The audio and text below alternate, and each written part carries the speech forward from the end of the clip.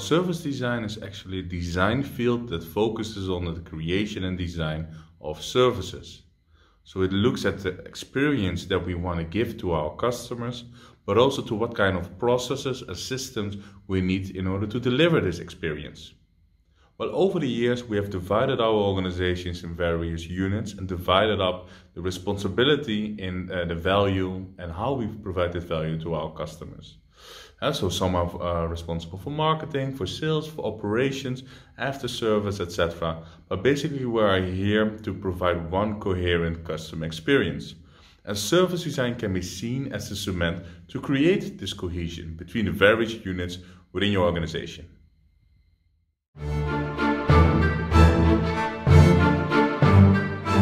During this course, you will learn the theory and practice behind service design.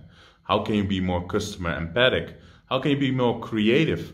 Uh, how can you, for instance, use technology to your advantage in improving the customer experience, but also improving the value for your organizations? How can you, for instance, also convince people in your organization to invest in service design in order to really be more customer centric and innovative?